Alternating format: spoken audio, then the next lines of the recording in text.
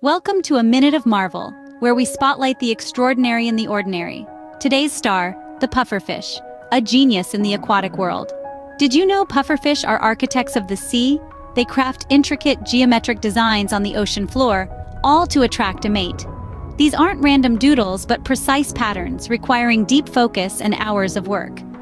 Pufferfish also know a thing or two about self-defense. Their infamous inflation technique is a spectacle of biology and physics, when threatened, they suck in water or air, ballooning up to three times their size. They even carry a secret weapon, tetrodotoxin. It's a potent neurotoxin, making them a risky meal for predators. So next time you come across this spiky swimmer, remember, it's not just another fish in the sea. It's a mathematician, an architect, a physicist, and a chemist, all rolled into one cute, round package. Stay tuned for more minute marvels unveiling the extraordinary one minute at a time.